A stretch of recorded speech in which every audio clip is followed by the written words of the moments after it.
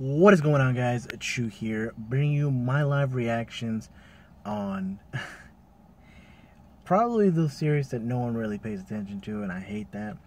But it's one of my favorites, Saekano Koiseru Metronome.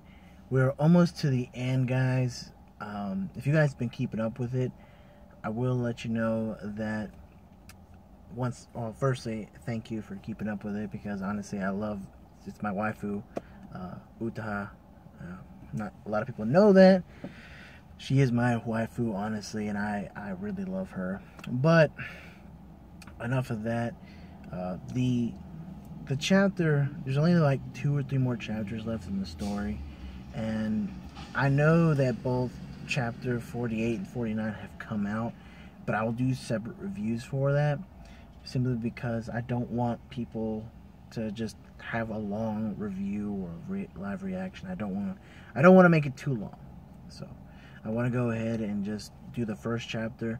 Hopefully, my Monday I'll have the act the second part of the, the chapter 49 live reaction out for you guys. So if you guys are in, a fan of it, stay tuned for it. Uh, I'd greatly appreciate it. But kind of giving you a, a recap of what's been going on. Uh, Utaha has been in a funk all ever since she was told that her character was not going to be the one selected for, I guess, for the happy ending. She was going to be left out. Uh, and Tomoya has been rather careless uh, about it. And now Sagiri has kind of tried to help him out to kind of, you know, you got to make her feel better. And now Tomoya's going to try to hopefully do something in order to make things better. But they're going to hopefully work together. I mean, I think that would make sense for both Sagiri and Tomoya to work together and actually do something. But we'll see. Without further ado, let's get right into it. Postponed. Sagiri's talking. Uh, I'm sorry, Sagano Sensei. I regret having to make you hold back your schedule. I ask, I ask you to please keep working for the ninth volume pending for a while. Apparently there was disagreements. She's not too happy to see this.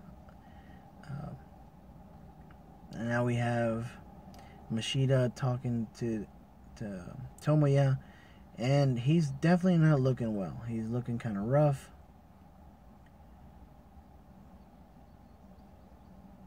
Uh, let's see. Sagari's talking to Tomoya. It's like, when are we starting again? And he's like, I'm sorry. I can only say until something we agree on is written. Yeah, well, things are not looking good uh, on Utaha and Tomoya's part, and it's affecting Sagiri, of course. Can you match the last volume with the anime ending?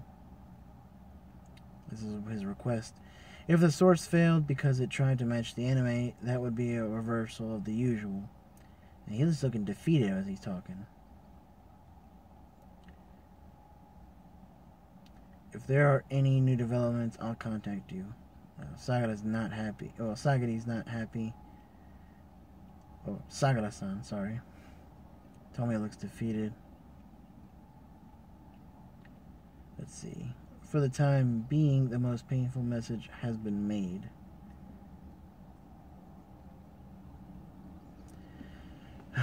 this guy looks so defeated. So, when's it coming out? Or should I say, when will I be able to ask when it's coming out? Uh, things aren't looking too good. They're just looking bad.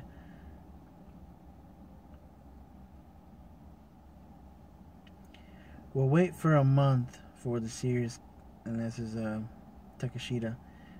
Uh, we'll wait a month for the series composition of the yet to be submitted later half and the script for episode 8 onwards. But if you go past that, we'll we'll finish it by hiring an, another pro script writer. We can't wait for Kasumi Sensei until the very end. So basically, if Utaha doesn't finish the job, then they're gonna find someone else to finish the story, and that's definitely not something that Tomoya wants to do. And he's like, no way.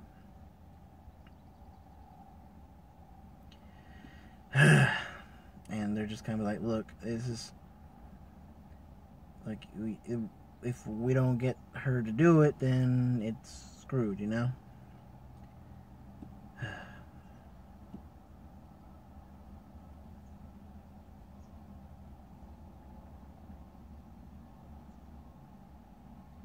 we must not crush the talent. Hmm. And this is the people talking now. Let's see. The airing of the second season is near. I often hear people of people becoming unable to write from an anime adaptation failing, but people wind up like this from the anime succeeding. Hmm. Let's see. Even if we if we editors don't understand the fussing and nuisances nu- nuisances of creators, we can't just straight up deny them. If we who are supposed to support our writers become mere users, we can't release any geniuses into this world.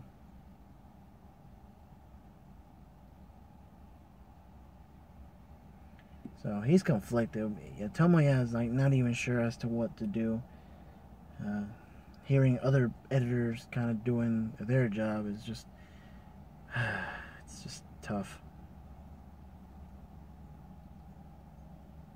Let's see. I don't know if I get to get get to those to see those seriously down faces once every 10 years or not. I guess this guy's trying to cheer him up. I forgot who he is, honestly.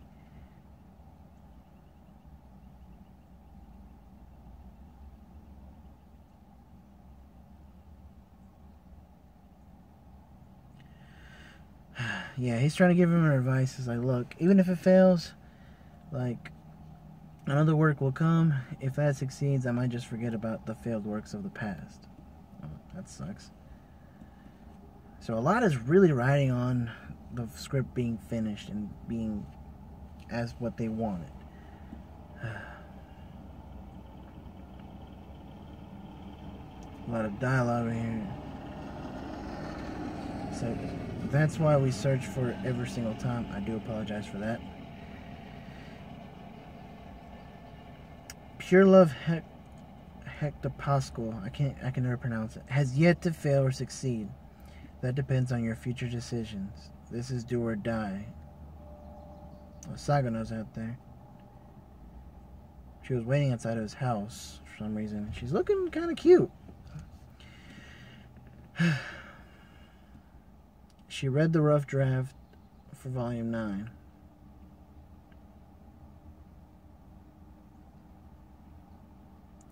Say, my heart didn't pound. It's not funny. It can't make you cry. No, it was too much and nothing but dry laughs came from me. I could have cried from the bottom of my heart. Just what are you doing? Just what kind of novel did you make Kasumi Utako write?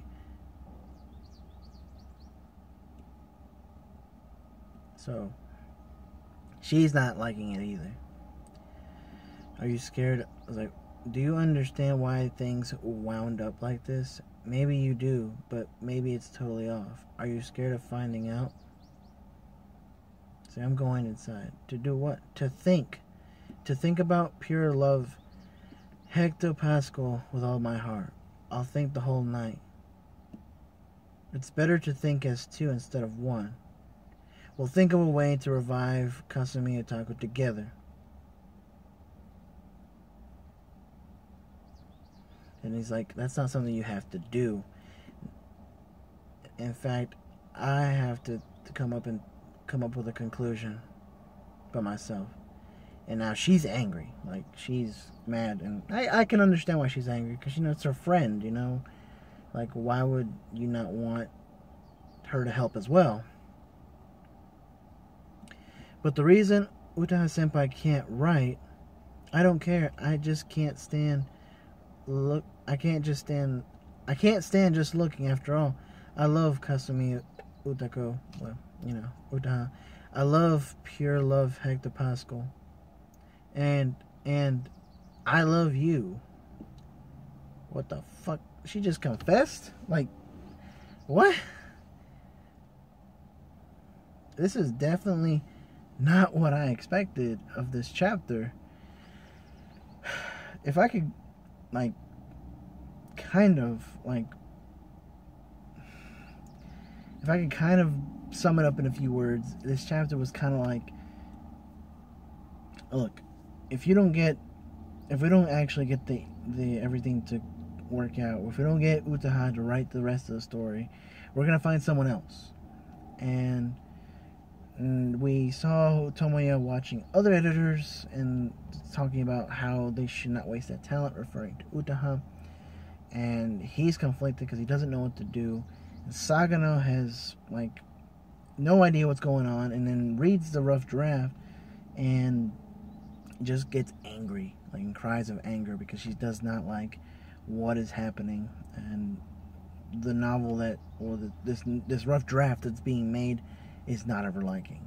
And she talks about how much she loves the work, how she how she loves Kasumi, which is Utaha, but I'm guessing she's referring to the author, and she loves him. I don't know how to take that last part. Like, is this a love confession on her part, or is this because she's referring to like, I love you as well, you know. It's kind of unclear as to what she's referring to. But if you guys are keeping up with the series, let me know what you guys think. I'd greatly appreciate it. If you guys like the video, please leave a thumbs up. And as always, stay safe, guys, and I will catch you later.